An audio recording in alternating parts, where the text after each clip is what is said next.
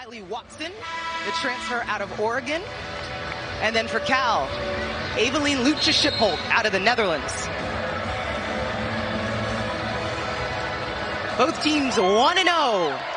Game number two of the regular season is underway. It starts in the half court where Notre Dame head coach Niele Ivey says, we kind of want to get on transition, so let's see what they do on this first possession. Westbeld from the outside.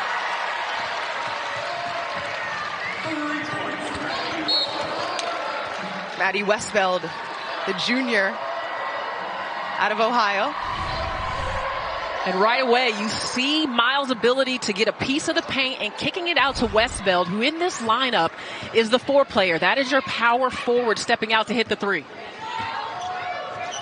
On the floor for the Irish, Kylie Watson makes the decision quickly to go to the rack.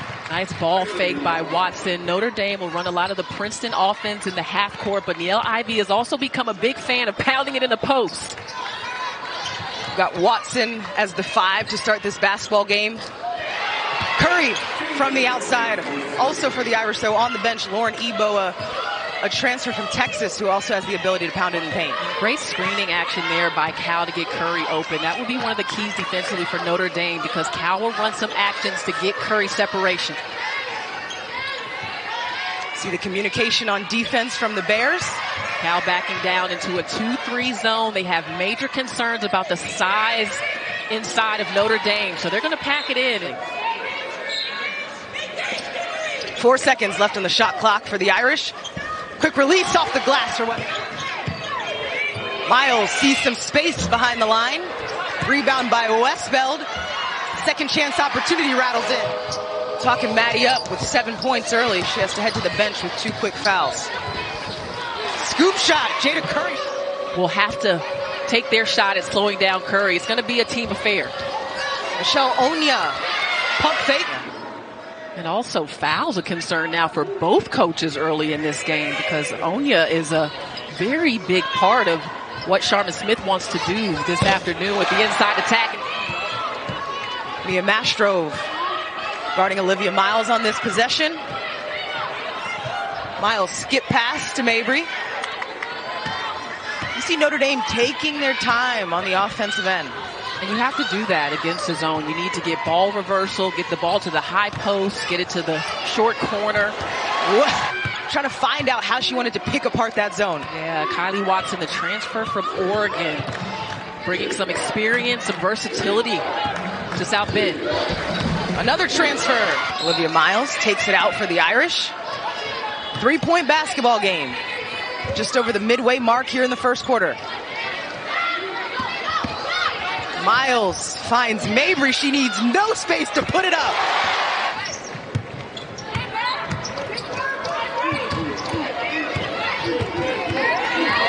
Curry trying to create space. Mabrey doing a very nice job containing Curry off initial screening action. Driving kick. Curry gets it back in the corner. High arcing. You notice Mabrey will bring it up for the Irish. So will Miles. Stop, pop, score. I'm with you, Zora. this analytics thing, you know, right? messing us up. Notre Dame in transition.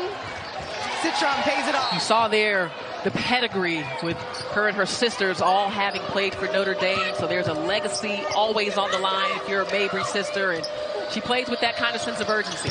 Curry has it going from the...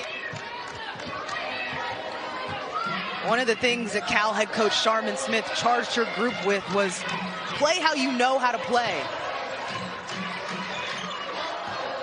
Let's show people why women's basketball is so great. Dump down pass.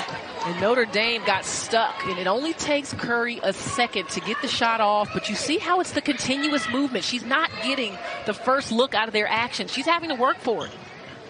Jayda Curry, three for three from the three-point line. Watson, her teammate say Watson identifies it and scores. Watson 100% from the field in the early part of this basketball game.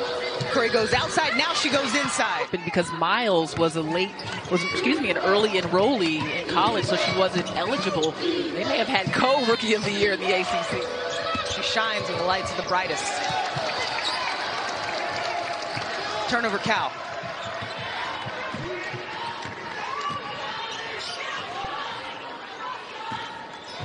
Here's Miles, and that's Westbeld behind the three-point line. One thing that stands out when you talk about Miles' game is just the legacy of great point guards at Notre Dame. Niele Ivey was one of them. Skylar Diggins-Smith. Beautiful move, body on that defender. She could have caught that pass. She's got to make contact. Notre Dame for sure has the size advantage with Watson and Ebo in at the same time. Miles behind the back, scoops it off the glass. No surprise, though, that all roads led back to Notre Dame for her.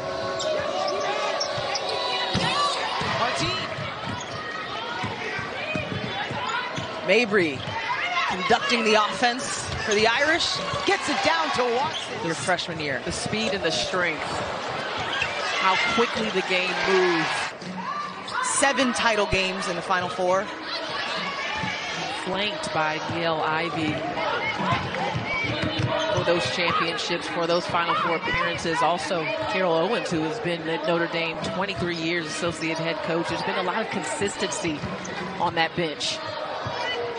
Well, it says something, too, that Notre Dame allows you to go be great. Carol Owens, right, going and, and having a stint as a head coach. Michaela Mabrey, assistant coach for the Irish, doing the same thing starting somewhere as an assistant coach and then getting the opportunity back where it all started for her.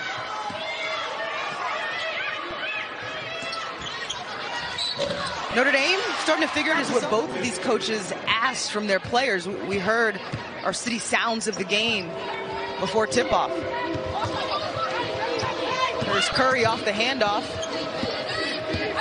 Miscommunication defensively, so Cal passes around the horn. 43-34, nine-point basketball game.